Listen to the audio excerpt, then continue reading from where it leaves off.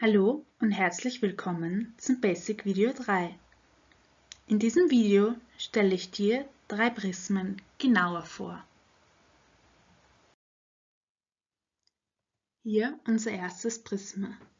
Wir schauen uns nun die Eigenschaften dieses Prismas anhand von ein paar Fragen an. Welche Grund- und Deckfläche hat dieses Prisma?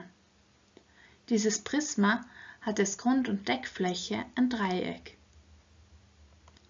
Wie wird dieses Prisma dann genannt? Dieses Prisma wird dreiseitiges Prisma genannt. Wie viele Seitenflächen hat dieses Prisma? Dieses Prisma hat drei Seitenflächen. Handelt es sich um ein gerades oder um ein ungerades Prisma? Es handelt sich um ein gerades Prisma. Eigenschaften des nächsten Prismas darfst du dir nun selbst überlegen.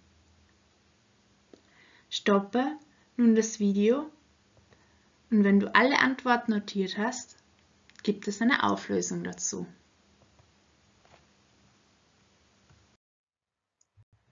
Nun zur Auflösung. Welche Grund- und Deckfläche hat dieses Prisma?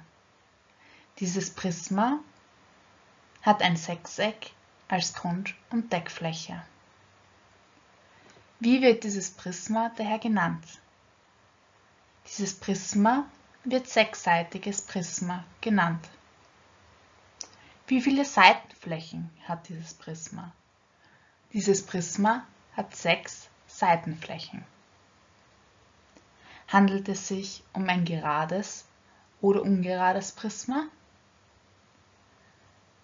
Es handelt sich um ein gerades Prisma. Ein Beispiel gibt es noch in diesem Video für dich. Stoppe nun wieder das Video und wenn du alle Antworten notiert hast, gibt es eine Auflösung dazu. Nun zur Auflösung. Welche Grund- und Deckfläche hat dieses Prisma? Dieses Prisma hat ein Fünfeck als Grund- und Deckfläche. Wie wird dieses Prisma daher genannt?